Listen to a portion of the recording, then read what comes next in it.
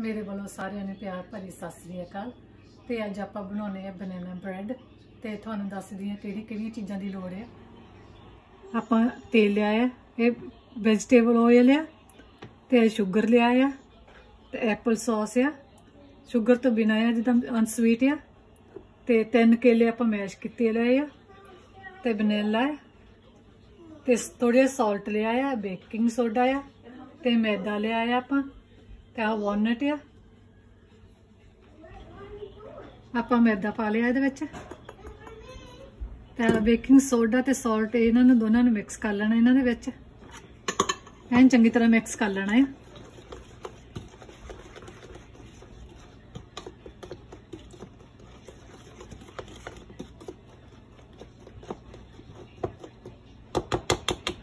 ਆਪਾਂ ਇਹਨੂੰ ਸਾਈਡ ਤੇ ਰੱਖ ਦੇਣਾ ਹੈ ਤੇ ਹੁਣ ਆਪਾਂ ਆ ਤੇਲ ਜਿਹੜਾ ਲਿਆ ਇਹਦੇ ਵਿੱਚ ਸ਼ੂਗਰ ਪਾ ਦੇਣੀ ਹੈ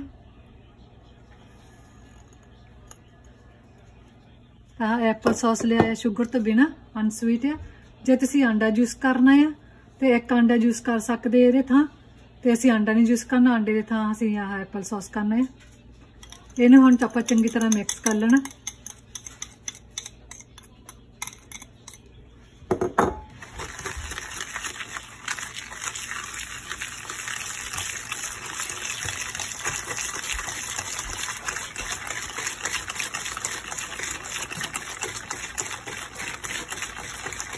ਇਹ ਸ਼ੂਗਰ ਨੂੰ ਚੰਗੀ ਤਰ੍ਹਾਂ ਘੋਲ ਲੈਣਾ ਇਹਦੇ ਵਿੱਚ।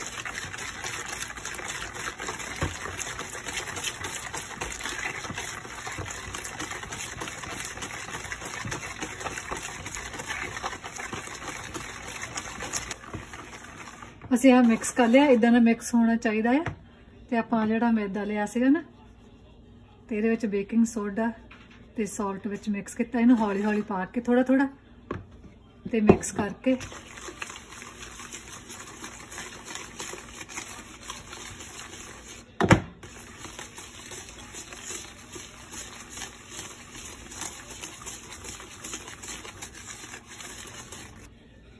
ਆਪਾਂ ਸਾਰਾ ਮਿਕਸ ਕਰ ਲੈਣਾ।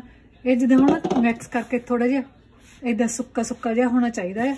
ਉਹਦੇ ਫਿਰ ਜੇ ਤੁਹਾਨੂੰ ਹਾਰਡ ਲੱਗਦਾ ਮਿਕਸ ਕਰਨਾ, ਤੇ ਤੁਸੀਂ ਇੱਕ ਚਮਚੇ ਦੇ ਨਾਲ ਵੀ ਮਿਕਸ ਕਰ ਸਕਦੇ ਇਹਨੂੰ। ਐਨ ਚੰਗੀ ਤਰ੍ਹਾਂ ਮਿਕਸ ਕਰਨਾ। ਆਪਾਂ ਮਿਕਸ ਕਰ ਲਿਆ ਇਦਾਂ ਦਾ ਮਿਕਸ ਹੋਣਾ ਚਾਹੀਦਾ ਹੈ। ਤੇ ਆਪਾਂ ਹੁਣ ਵਨੀਲਾ ਪਾ ਦੇਣਾ ਚਮਚਾ ਕ। ਤੇ ਦੁੱਧ ਪਾ ਦੇਣਾ ਹੈ। ਤੇ ਆਪਾਂ ਜਿਹੜੇ ਕੇਲੇ ਮੈਸ਼ ਕੀਤੇ ਸੀ, ਇਹ ਨਾਲ ਪਾ ਦੇਣੇ ਆਪਾਂ।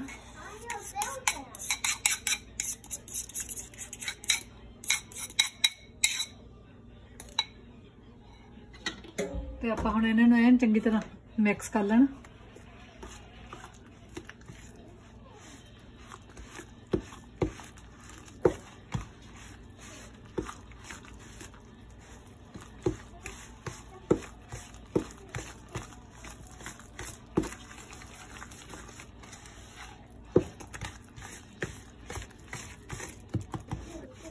ਆਪਣਾ ਹੁਣ ਇਹ ਮਿਕਸ ਹੋ ਗਿਆ ਹੈ ਤੇ ਇਹਨੂੰ ਆਪਾਂ ਸਾਈਡ ਤੇ ਰੱਖ ਦੇਣਾ।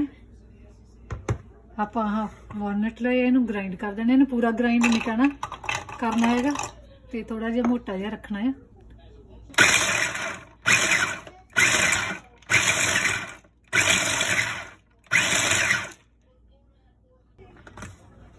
ਆਪਣਾ ਹੁਣ ਗ੍ਰਾਈਂਡ ਹੋ ਗਿਆ।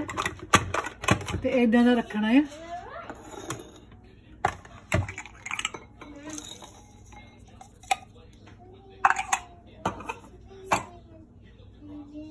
ਤੇ ਹੁਣ ਆਪਾਂ ਇਹਦੇ ਵਿੱਚ ਮਿਕਸ ਕਰ ਦੇਣਾ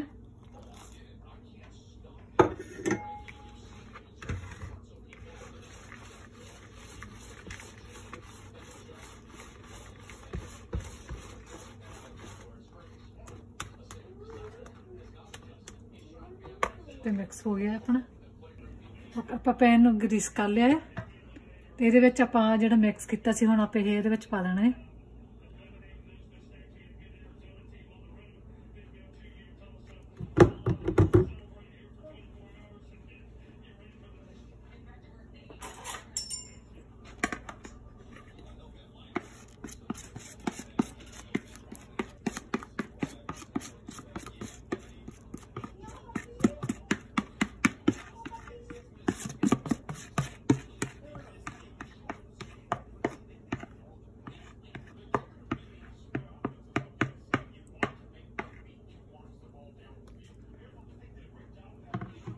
ਤੇ ਆਪਾਂ ਓਵਨ 325 ਤੇ ਪ੍ਰੀਹੀਟ ਕਰ ਲਿਆ ਸੀ ਤਾਂ 15 ਮਿੰਟ ਇਹਨੂੰ ਹੁਣ ਆਪਾਂ ਕੁੱਕ ਕਰਨਾ ਹੈ।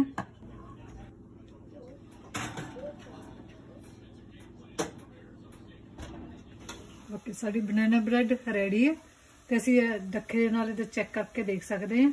ਐਨ ਕਲੀਅਰ ਆਉਂਦਾ ਬ੍ਰੈਡ ਇਹਦਾ ਮਤਲਬ ਬਣੀ ਹੈ ਐਨ। ਤੇ ਹੁਣ ਇਹਨੂੰ ਥੋੜਾ ਜਿਹਾ ਠੰਡਾ ਹੋ ਜਾਵੇ। ਬਨਾਨਾ ਬ੍ਰੈਡ ਬਣ ਗਈ ਆ ਤੇ ਅਸੀਂ ਉਹਦੇ ਪੀਸ ਕੱਟ ਲਏ ਆ ਤੇ ਤੁਸੀਂ ਵੀ ਆਪਣੇ ਹਿਸਾਬ ਨਾਲ ਪੀਸ ਕੱਟ ਲਿਓ ਤੇ ਜਿਨ੍ਹਾਂ ਨੇ ਮੇਰੀ ਵੀਡੀਓ ਨੂੰ ਲਾਈਕ ਕੀਤਾ ਸ਼ੇਅਰ ਕਰ ਕੀਤਾ ਕਮੈਂਟ ਕੀਤਾ ਤਾਂ ਉਹਨਾਂ ਦਾ ਬਹੁਤ ਬਹੁਤ ਥੈਂਕ ਯੂ ਤੇ ਮੇਰੇ ਵੱਲੋਂ ਸਾਰਿਆਂ ਨੂੰ ਪਿਆਰ ਭਰੀ ਸਤਿ ਸ੍ਰੀ ਅਕਾਲ।